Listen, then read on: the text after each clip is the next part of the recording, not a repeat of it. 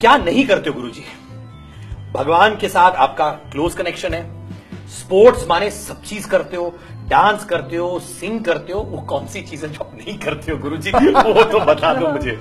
बस हम बुरी सोच कभी नहीं रखते और बुरा काम कभी नहीं करते। बाकी हर काम कर लेते।